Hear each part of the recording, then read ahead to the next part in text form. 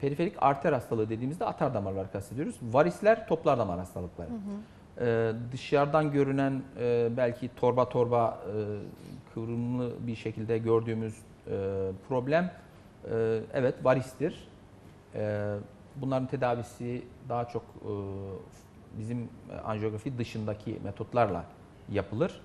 E, periferik arter e, periferik damar hastalığının e, içine girer bu hastalık grubu ama periferik arter hastalığı dediğimizde atar damarlar tabii ki kastediyoruz.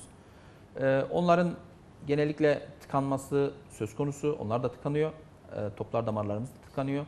Toplar damarlarımız elbette gangrene pek yol açmaz ama e, toplar damarlarda oluşmuş pıhtının e, yerinden e, ayrılıp akciğer damarına yönelmesi sonucu pulmoner emboli dediğimiz çok ciddi bir e, tabloya yol açabiliyor. E, bundan sadece bu kadar bahsetmiş olalım. O tamamen ayrı bir konu. İlerleyen E, günlerde tedavisi daha de detay- ayrı. Evet.